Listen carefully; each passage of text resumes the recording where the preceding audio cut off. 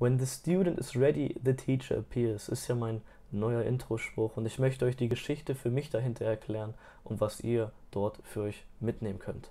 Also im Prinzip sagt das einfach, dass wenn der Schüler bereit ist für diese Lektion, die er zu lernen hat, dann wird der Lehrer auftauchen. Und ein Beispiel aus meinem Leben ist da, ich habe The Subtle Art of Not Giving a Fuck von Mark Manson gelesen und in dem Buch stand drin, dass er sein ganzes Leben lang Rockstar werden wollte und sich dann mit 16 schon richtig Gedanken dazu gemacht hat, wie er eine Band aufmacht und alles Mögliche, was du organisatorisch machen musst, um eine Band zu öffnen.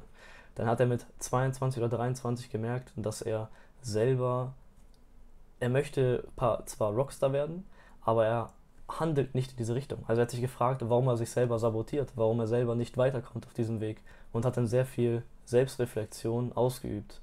Und ihm ist dann einfach aufgefallen, dass er, er wollte eigentlich nur das Endergebnis. Er wollte nicht diesen Prozess. Also das, egal was du machst, in, wenn du in den Dingen besser wirst, das ist ein Prozess. Du kannst nicht Fußballstar werden, ohne diesen ganzen Prozess von Training, Taktik und dem ganzen Quatsch zu überspringen. Also du musst diesen Prozess durchlaufen, dass du irgendwann Profifußballer bist oder Rockstar oder sonst irgendwas, bei dem du einen langen Weg hast. Ich meine, in deinem Beruf bist ja auch nicht direkt Chef, sondern du läufst, durchläufst verschiedene Stages wahrscheinlich. Und wenn du direkt auf die Chefstelle angesetzt werden würdest mit 18, 19, 20, das wäre halt viel zu früh. Du würdest den ganzen, du wärst den ganzen Prozess noch nicht durchgelaufen. Manche Sachen, du musst erstmal quasi reifen, um für diese Aufgabe bereit zu werden. Und ihm ist halt aufgefallen, er war in love with the result and not with the process. Und das war für mich so eine einschlagende Sache, weil ich habe das gelesen und dachte mir dann so, krass, also ich habe zum Beispiel meine ganze Jugend gedacht, dass ich Fußballprofi werden möchte. Ich war auch ein okayer Fußballer, also das, da kann man nichts dran sagen. Also am Talent hat es nicht gescheitert, sondern eher an der Disziplin.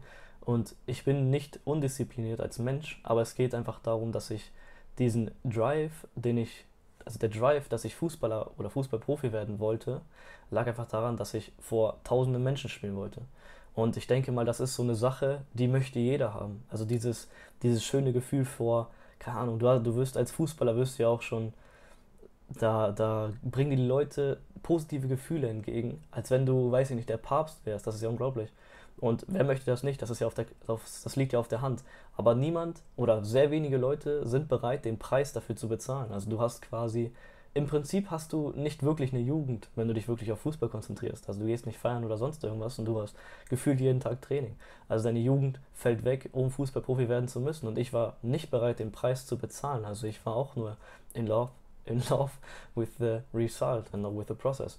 Und das war für mich so eine ein, so für mich so ein einschneidendes Erlebnis, dass ich das jetzt vor einem halben Jahr oder so gelesen habe.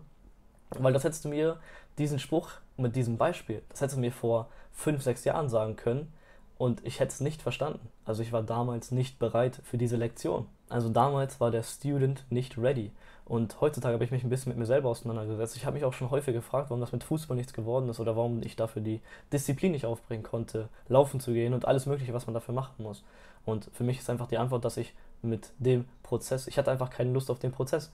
Ich bin einfach, was fußballerisch, was läuferisch angeht, bin ich einfach ein recht undiszipliniert. Und so wirst du nicht Fußballprofi. Auch wenn du selber denkst, weil du dich nicht so gut kennst, dass du, dass du A möchtest, dann handelst du Richtung B und dann solltest du vielleicht mal hinterfragen, ob du A wirklich möchtest. Wenn du Richtung B handelst, die ganze Zeit, für Jahre. Und das ist so die Aussage, die ich euch mitgeben möchte überlegt, ob eure Ziele wirklich eure Ziele sind. Also ich habe mir natürlich ein Ziel gesetzt, ich wollte Fußballprofi werden, aber das war mehr so ein Ziel und kein Ziel. Also versteht ihr, was ich meine? Ich meine damit, dass ich, ich wollte irgendwas haben. Ich wollte aber auch nur die guten Seiten an der, an der Sache.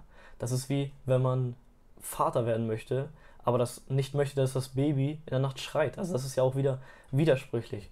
Da natürlich, wenn du dein Kind hast, kannst du nicht mehr anders aussuchen. Aber wir reden jetzt gerade über beispielsweise Fußballprofi werden. Da kannst du ja sagen, ja, ich gehe heute nicht laufen, weil kein Bock oder das und das und das und das. Oder ich gehe am Wochenende feiern. Das ist ja natürlich viel einfacher. Das, das Kind kannst du nicht weggeben, aber die Party kannst du mitnehmen. Ich hoffe, ihr macht euch wirklich Gedanken, ob eure Ziele so zu euch passen. Je besser ihr euch kennt, desto bessere Ziele könnt ihr für euch setzen. Ich denke, ich werde mal auch ein eigenes Video über Ziele machen. Jedenfalls, ich hoffe, ihr konntet was mitnehmen. Peace.